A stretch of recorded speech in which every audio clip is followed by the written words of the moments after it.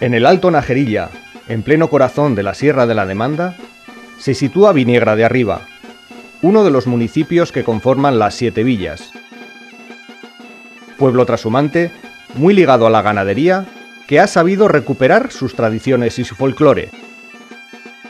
Tras décadas de olvido de sus bailes, en 1995 se creó el actual grupo de danzas, para rescatar aquellas melodías que se bailaron antaño.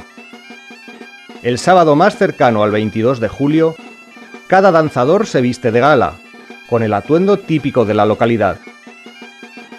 Es el día en que Viniegra de Arriba celebra la festividad de Santa María de Magdalena.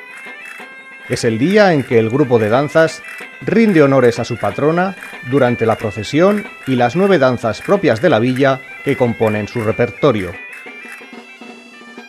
No es todo hilar, las hojas en el arbolé o cinco lobitos son algunas de las danzas de palos que interpretan. Otras, como el baile de la carrasqueña, ya no se bailan. Todavía resuenan las notas del tío Celestino, uno de los últimos rabelistas de la Sierra Riojana. Resuenan antiguos romances, como el de la loba parda. Aún recuerdan los más mayores a Tiburcio Martínez, el tío Tiruliru, que tocaba la gaita de Odre acompañando las danzas en honor a Santa María Magdalena.